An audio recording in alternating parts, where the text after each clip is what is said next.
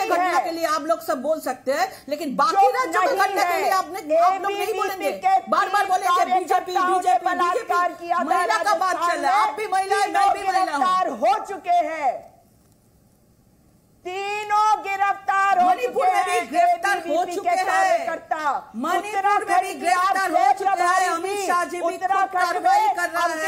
गृह मंत्री जी सीएम वीरेंद्र? सिंह जी कर रहा है। प्रधानमंत्री जी। स्वयं बोले हैं चर्चा के लिए कांग्रेस को भी बोले हैं खुलेआम पूरा चर्चा होना चाहिए लेकिन आप टीवी के अंदर ये क्या प्रधानमंत्री के तो मुँह से मणिपुर नहीं निकल रहा था आज निकला सतहत्तर सुनिए पिछले माननीय पिछले 54 महीने में राजस्थान में 10 लाख से ज़्यादा आपराधिक घटना घटे हैं।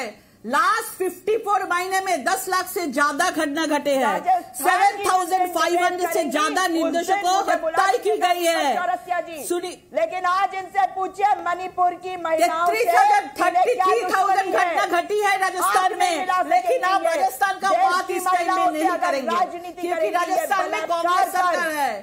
ये करी सुनिए, नहीं है। राजनीति नहीं कीजिए। प्रधानमंत्री जी बोले हैं, उन्हें न्याय नहीं मिला। देश का बेटियों देश का बेटियों को सम्मान चुप सरकार को बोले हैं कानून को और कड़ा वहाँ होना चाहिए? महिलाओं के साथ शोषण हो रहा है उनका बलात्कार हो रहा है उनकी हत्या अच्छा, अच्छा, सुजाता पाल एक सवाल का जवाब दीजिए। चाहते हैं। नहीं हमने ये कहा है कि हम मंत्री शांति धारीवाल ने- कर रहे हैं और हमें केवल इसी मुद्दे में सबसे पहले चर्चा चाहिए। क्या ये गलत है? आप बता दीजिए मुझे।